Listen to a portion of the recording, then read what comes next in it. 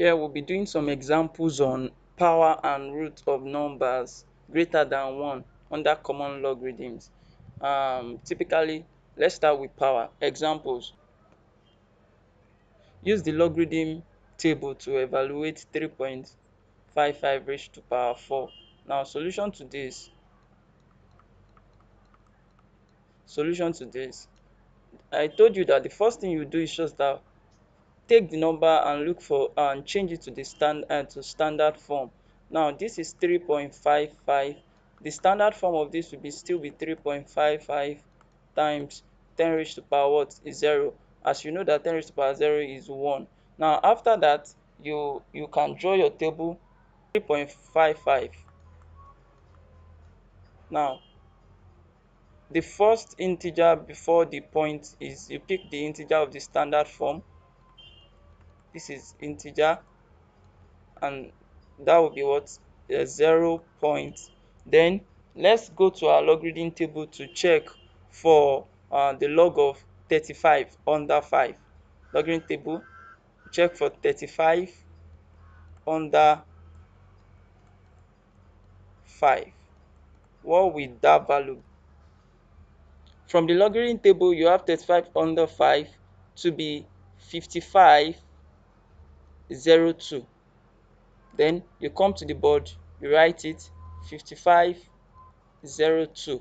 Now let's come to our logarithm table. Since there is no value any other value any other value here which will make the numbers 4 then there's no uh, we are not going to be looking for difference of anything because there's no value at the back of 5 it's just 3 digits. Now you just put that down. We have 0 0.5502 now, from here, uh, our initial from our initial question, we have 3.55 raised to power 4. Now, for powers, you come here 3.55 raised to power 4. For you to get the value, this value on itself using logarithm table, after finding your log, you multiply the power by your logarithm value.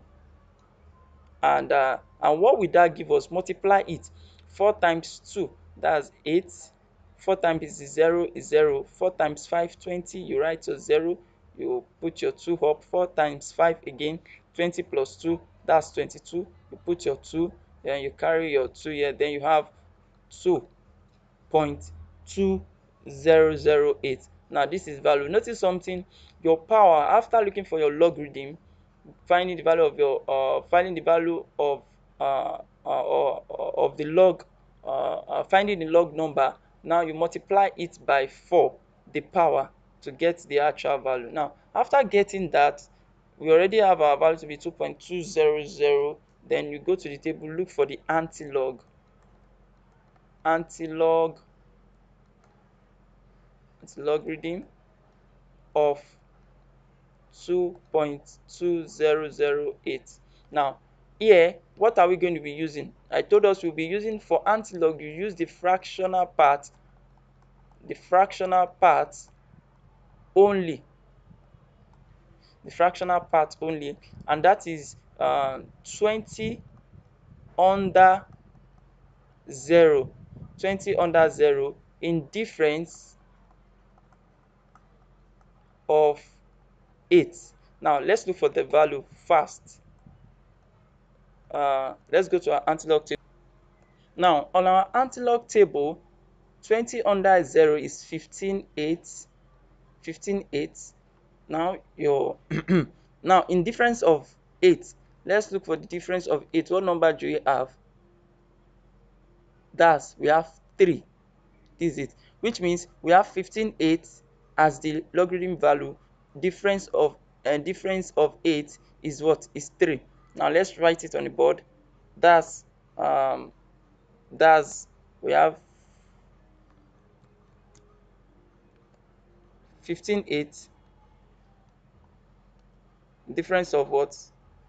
8 is equal to 3 now you add the value together. 5 plus 3 is 8 8 plus 0 is 5 and 1 now for antilog, your point will always be in front of the first digit, 8, 8. Then what will be our final answer for this? You bring your anti-log, you bring your anti-log, that will be 1.588 times 10 raised to power the what? The integer that you left behind, that 2. 2. Then our final answer will be 1.88 times 100 which will finally give us what? 158.8. Now, the value of this of this uh, question will be what? Will be is equal to 158.8. That's on that.